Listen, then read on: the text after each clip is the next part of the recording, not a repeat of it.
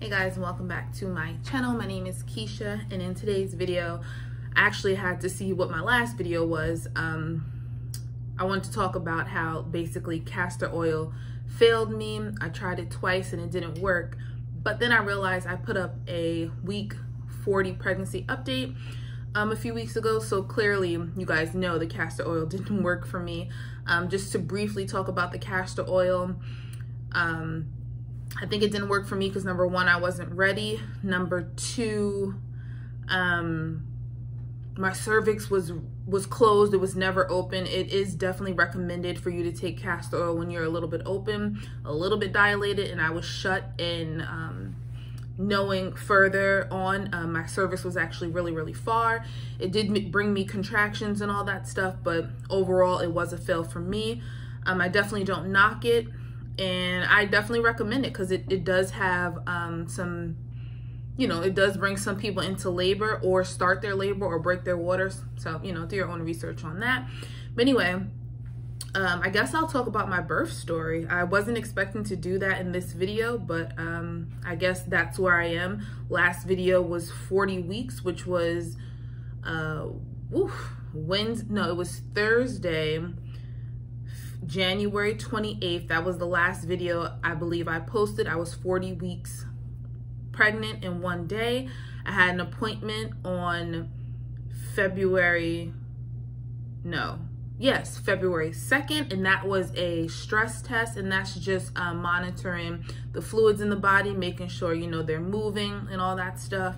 And my induction was supposed to be scheduled for that Friday, which I believe was the 5th and when I actually got the notification, they scheduled me for Monday, which would have been the 8th of February.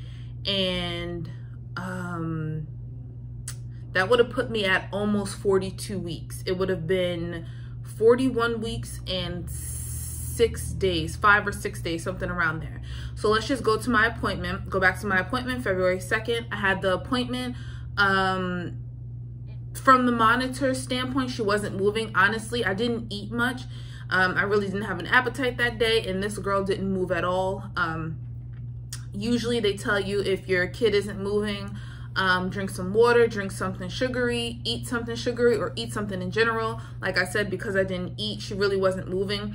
It wasn't really a, oh my God to me, because I know this girl moves 24 7. So I was just like, she's just chilling. Like, she just don't want to leave, clearly.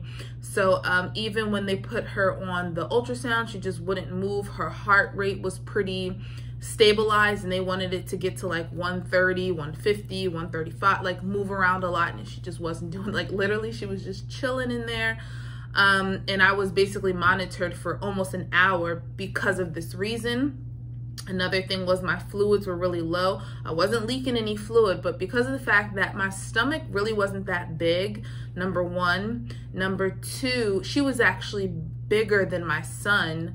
So um, there's that. So she was taking up a little bit more space, and that's kind of, especially at almost 41 weeks, clearly it's not good enough to stay in there.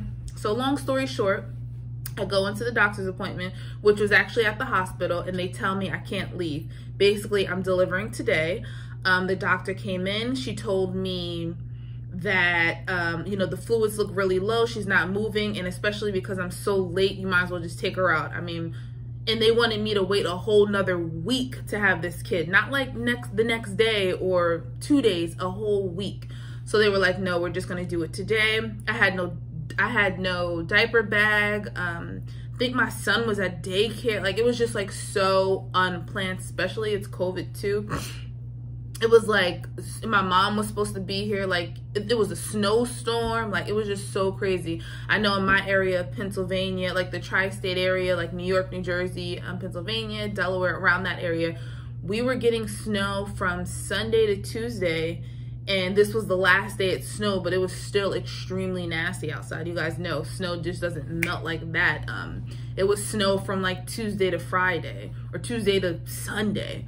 Um so anyway I was like, what can I do? She was like, um, I can't eat. I have to stay there. So literally, like I said, I was in the hospital. So I went from that floor all the way to labor and delivery.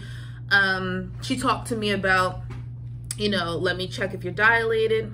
I still wasn't dilated. Like 40 weeks and six days and I still wasn't dilated. And like I said in previous videos, their whole thing is C-section.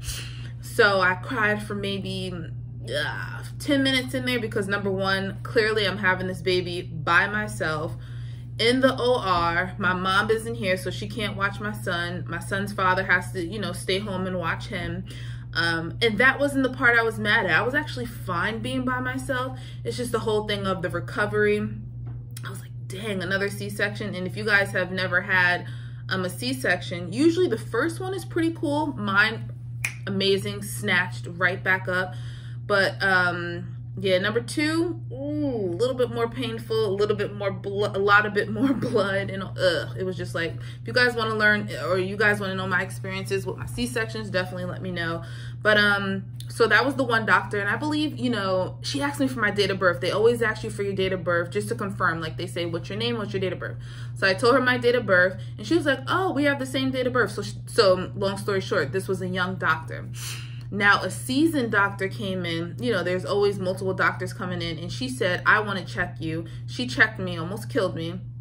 And she told me I can actually have a natural birth and she can stick a balloon in me. Um, she thinks I'm good enough for her to put a balloon in me. Now, this was probably two hours after they told me I was having a C-section. They told me what time I'm having the C-section. I signed the paperwork for the C-section. And I'm not knocking this other doctor um, I actually really liked her and I wish she would have came in in the beginning because I would have been like, yes, vaginal birth. But because she came in after I cried, after I signed the paperwork, after this lady, the, the younger lady checked me, I was just like, you know what? I'm not getting the vaginal. Um, the vaginal would have been like a lot longer.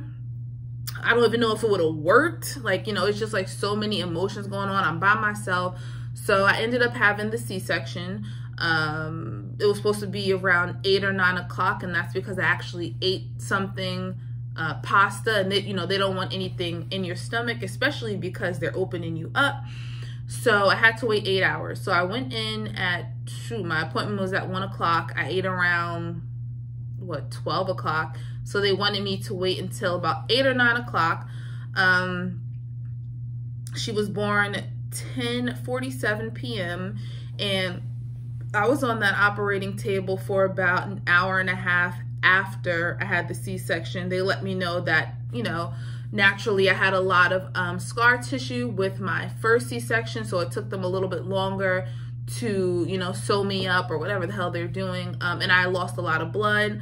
Uh, ooh, that just makes me like cringe. They had to like push on my stomach just to make sure like the blood was coming out, uh, which, oh my God, that was so painful. Um, all I can say was it was definitely a lot more painful. I couldn't, um, I could not hold her without assistance. Like, you know, doctors are coming in probably every 30 minutes every hour. And I would just be like, can you give me my daughter? Like, so I can feed her and stuff. Not in a rude way. Like, they're there to help you. Um, so I was just like, you know, can I, um, can you help me? I couldn't lift up. I couldn't really do anything. It was very, very, very painful. Um, I say all of this to say I still left the hospital before 48 hours. With my son, I had him on Monday. I went in on Sunday for my induction, but I had him early Monday morning, like 5.48 in the morning. And um, I left Wednesday afternoon around 1 o'clock. Now, her, I had her at ooh, Tuesday, 10 47 p.m. and I was out of the hospital by Thursday 12 p.m. So that wasn't even 48 hours. Um, as long as I can shower by myself, I use the bathroom by myself. Um, I was walking and that's basically it. I felt like there was no reason to really be in the hospital. I think like the best thing this time was there's like an automated doctor, like a robot doctor that you can text and they actually um, text you when you're not texting them, just like reminders and all that stuff. Make sure you're walking, make sure um, you're changing the diaper, make sure you're feeding every two to four hours, you know, like stuff like that. Um, so, you know, I would like ask her questions all the time just so that um, I'm not calling the hospital or going to the ER because like I said, this was definitely a different experience than my son. Um, but overall, like I said, she's here, she's healthy, super happy she's actually asleep right now. Um, I'll introduce you guys in a later video. Um, but this video will be up today. Today is February 17th, a Wednesday. I believe, to, yes, today is Wednesday. So this video will be up today. Um, uh, you probably will see this get up a lot because I will be trying to um, knock out some more videos. If you guys have any questions, comments, or concerns, definitely let me know down below. And I will catch you guys in my next video. Bye, guys.